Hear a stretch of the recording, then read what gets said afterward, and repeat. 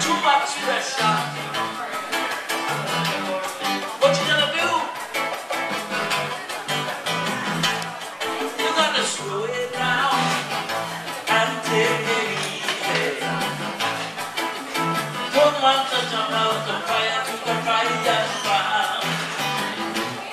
I'm gonna slow